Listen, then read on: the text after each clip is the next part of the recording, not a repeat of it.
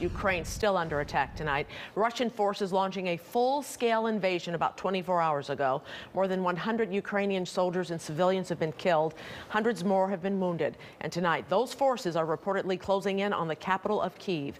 U.S. and European leaders are punishing Russia with financial sanctions, but that's not slowing the assault. WGN's Mike Lowe following this developing crisis for us tonight. Mike? And good evening to both of you. There are reports of fierce fighting across Ukraine, with President Volodymyr Zelensky saying the Russians plan to, quote, liquidate him, and further reports saying that all male citizens aged between 18 and 60 are banned from leaving the country.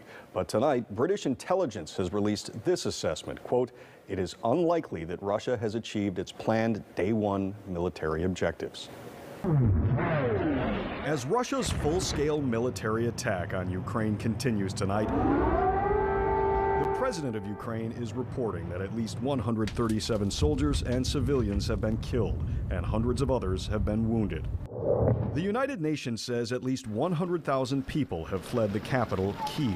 And you know, friends, everybody, everybody is uh, is in Kiev now, and they are calling us and telling what is going on, and it's and it's awful.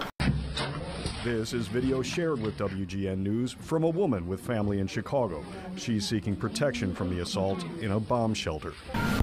And a disturbing development tonight. Russian forces have seized the shuttered Chernobyl complex. The White House said there are, quote, credible reports that the staff working at the site of the world's worst nuclear disaster have been taken hostage by Russian troops. We condemn it and we request their release. Earlier, President Joe Biden condemned the Russian invasion and Vladimir Putin. Putin is the aggressor. Putin chose this war, and now he and his country will bear the consequences.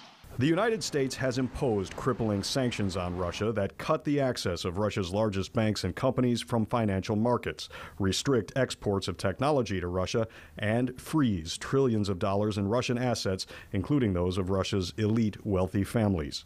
These are people who personally gain from the Kremlin's policies, and they should share in the pain. The president said the U.S. would not deploy the military to engage Russians in Ukraine, but he ordered 7,000 troops to Europe to reassure NATO allies that the U.S. would fight if the Russians advance into NATO territory. As I made crystal clear, the United States will defend every inch of NATO territory with the full force of American power. There's always that danger that this could uh, branch out from an invasion of Ukraine, and by accident or design, Putin could enlarge the conflict. Uh, and they're especially vulnerable countries. Senator Dick Durbin returned to Chicago today after visiting Illinois soldiers at a NATO base in Lithuania. I'm thinking of the folks with so many friends in Poland, in Lithuania, Latvia, who live in the Chicago, Chicago area. They're definitely worried about their families and should be. Durbin says he fully supports the president's strategy of sanctions and of keeping the U.S. out of a ground war in Ukraine. Vice President Kamala Harris said Putin is to blame. We know and believe that this is a war of choice. And Putin defended the invasion, saying he was protecting Russia. He threatened any entity that would stand in his way with consequences that the world has never seen, which was interpreted by many as a veiled nuclear threat. America stands up to bullies. We stand up for freedom. This is who we are. And tonight, Ukrainian officials are asking NATO to do more to repel Russia's aggression, saying sanctions won't be enough.